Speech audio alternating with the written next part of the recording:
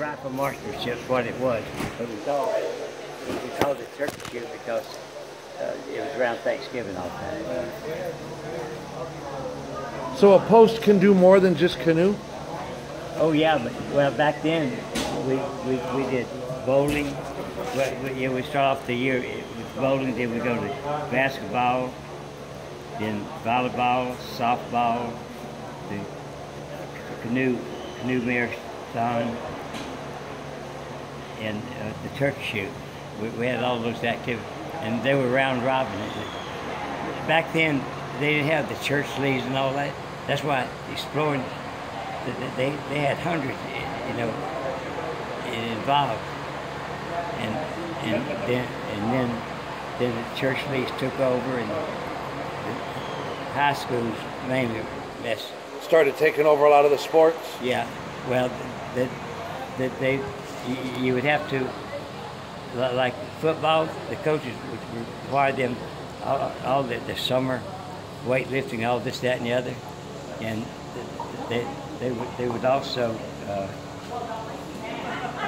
uh, have the seven on seven, all, all kinds of what I consider breaking amateur rules. And and then they did that with basketball, with uh, So that's so uh, they did that and that started getting in the way of doing the other stuff that, that you guys did? Yeah, right, yeah. But I've had like Rube, Rube Breland, Brandon Crosby, like Bowling Green. They they played uh, football for them, and they they would uh, have to do their workouts in the morning and couldn't do it in the afternoon. That takes a lot of heart. Yeah, it does. Yeah, It takes a lot of heart. This is a great program. yeah. And you know, you, it makes you wonder what what took up so much of these posts. I Yeah. mean, because you said there was what 18 of them Yeah, yeah, at one time, yeah. and now there's just one. Well, one in the girls, yeah. Well, they, they have some in St. Tammany, but they, they, they really were never involved with us anyway. They don't do the canoe race or any of that. They, they did few of them, but, you know. So a, post can do other things. They can. Oh, oh, yeah. They don't have to do canoeing. No, no, yeah, they can. We, canoe is just our big thing. How long has the Lions Club sponsored Post 313? Well, the Lions Club didn't really sponsor the Daily News, is our sponsor, but the Lions Club, uh, Daily News doesn't contribute any funds. They, they did for a long time. They'd give us $500 for orange juice, but when they changed over editors, they cut that out. and we, we just raise our own money. We don't hmm. go out and ask people for money. So does, does the Lions sponsor? The, the, the Lions donates money for us to like to come to Arkansas. Right. Or the Dragon Boat. Okay. Yeah. So how does Post 313 raise most of its money? Splitting wood, firewood. Really? So that's Yeah. where most of the money comes Yeah. from. Oh yeah. How much do you think you got to raise each year to do this? Uh, To do the whole thing from from February through this race? yeah. About five, six thousand dollars. And you do all that, almost all that through splitting firewood? Yeah, yeah, except for what the Lions Club gives. Yeah. What do you do when it was a year like this last year when it was so warm? Well, then, then we don't make five thousand dollars. We, we, we only made uh, twenty, 3,500, I believe. So how do you close the gap? We don't. We well, my my pocketbook. so do you? But so I, you I claim on income tax, so you know. So you pretty much close the gap. Yeah, yeah. I can only imagine how much you put into this. I, I never. It's worth it. Oh yeah, yeah, yeah. There's nothing better, is there? No, I mean, I, how I, many? I, I don't go to bars. I don't smoke. Yeah. How many times have you run across one of these kids as a grown-up years oh. later Lo- lot- and just been of- surprised? A lot of times, they, uh, I got doctors, lawyers. Uh, That's what I was going to ask you next. What have they become? I mean, they all become real men, don't they? oh yeah, yeah. Well, How many of them ever John- ended up in prison? Uh, I've had a couple. Of them. A couple of them fell off the edge? but, but only recently, because of drugs. Yeah, well, you know, and drugs will do that. Drugs Yeah. will do that. So the But punishment like, for drugs will do that. Like Johnny Crane, the, the uh, clerk of court. He, he, he In back- Bogalusa? Yeah. He, he, he was, he was uh, one of them that was on our first national championship team, 79. So what's the highest one of you guys ever made it? I mean, uh, elected to office? Plug it, plug it, plug it. Uh,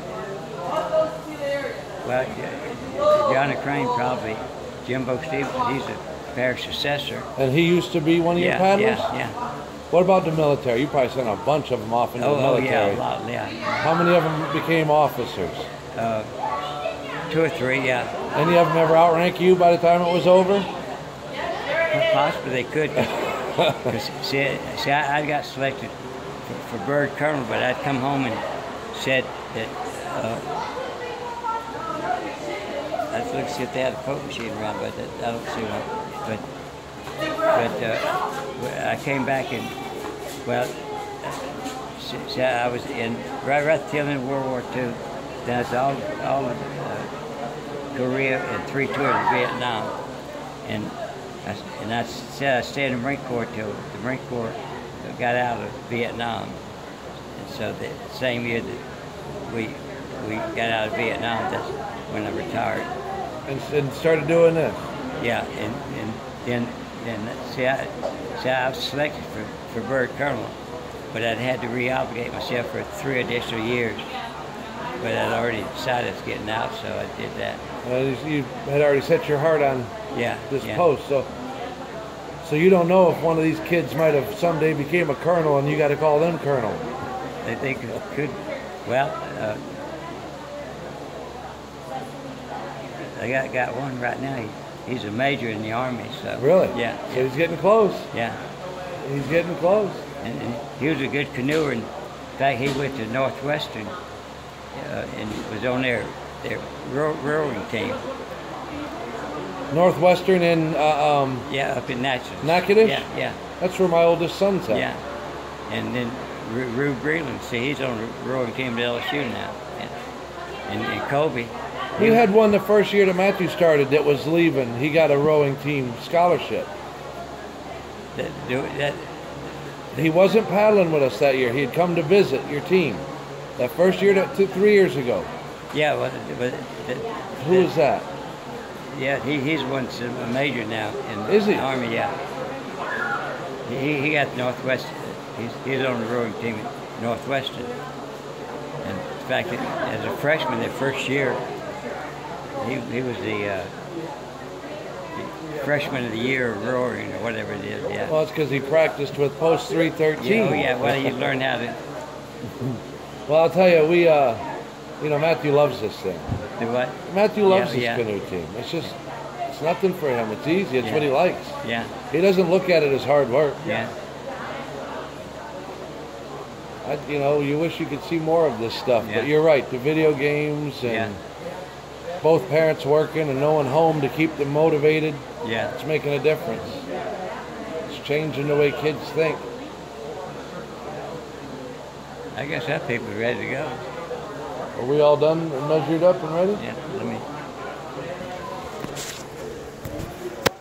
We'll stick around a while longer.